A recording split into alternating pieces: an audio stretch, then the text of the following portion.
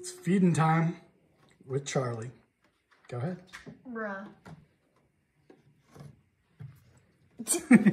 And of course, fast. he pooped in my hand, Dad. The cricket did? He pooped in Go wash your hands. Go wash your hands right now or else you're gonna do 50 push-ups and be grounded. Tough grounding for getting poop in your hand. Bye, Charlie.